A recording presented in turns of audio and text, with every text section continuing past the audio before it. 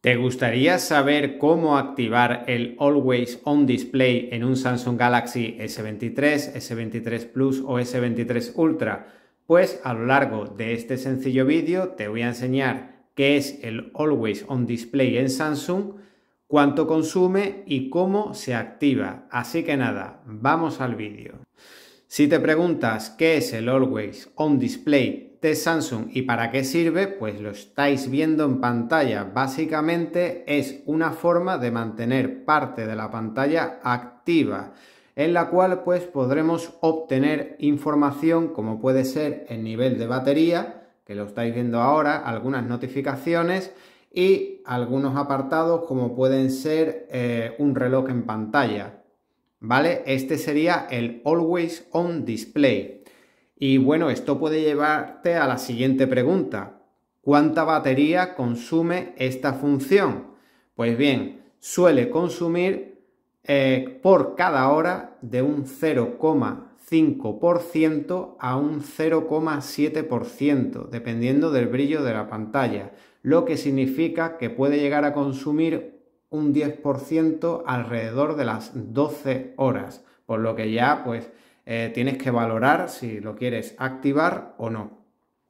Y bien, llegados a este punto, te voy a enseñar cómo puedes activar el Always On Display en cualquier Samsung S23, S23 Plus y S23 Ultra. Cómo configurarlo e incluso cómo desactivarlo. Vamos al lío.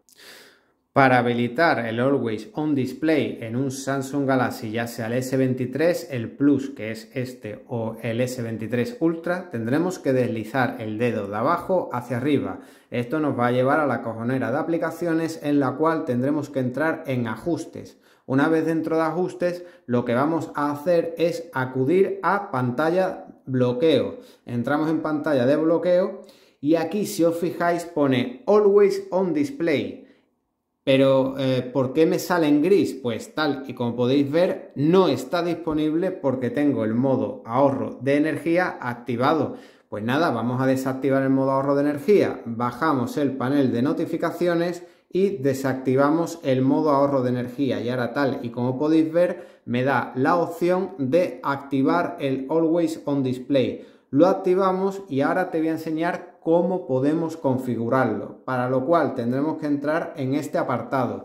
Y ahora, como podéis ver, nos sale que está activado y ahora tendremos distintas opciones. Eh, si le damos a pulsar para mostrar, lo que va a hacer es que cuando la pantalla esté apagada, pues solo va a aparecer cuando pulsemos la pantalla. ¿Veis? Si lo ponemos en mostrar siempre, pues lo que va a hacer es que se va a mostrar siempre y las siguientes opciones pues serán mostrar según lo planificado o mostrar con nuevas notificaciones, es decir, cada vez que te envíen un WhatsApp, pues lo que va a hacer es que va a saltar el logo on display. También podremos coger y seleccionar el estilo del reloj. Por ejemplo, podremos seleccionar este e incluso cambiarle los colores. Hay colores bastante chulos. Por ejemplo, vamos a dejar este y ahora cuando lo apaguemos y entre en pantalla de bloqueo vais a ver cómo se ve con el color que hemos elegido y el diseño. También podremos eh, orientación con forma vertical u horizontal. También podremos activarle el brillo automático. Ya dependiendo de las opciones, pues gastará más o menos batería. Y ya está, de esta manera tan fácil y tan rápida podremos activarlo. Pero como bien sabéis, esta opción por mucho que te la quiera maquillar Samsung como que gasta muy poca batería, sí que gasta. Por tal de mostrar un reloj siempre en la pantalla, te puede llegar a gastar hasta un 10% de batería cada 12 horas, lo cual es demasiado. Así que a continuación te voy a enseñar cómo desactivar el Always On Display en un S23 Plus y Ultra. Para desactivarlo, nuevamente deslizamos el dedo de abajo hacia arriba, entramos en ajustes, nos vamos a pantalla de bloqueo y en pantalla de bloqueo si tenemos el Always On Display activado, lo desactivamos y listo. Ahora veremos que en el momento de bloquear la pantalla pues ya no nos salta aquí, ¿vale?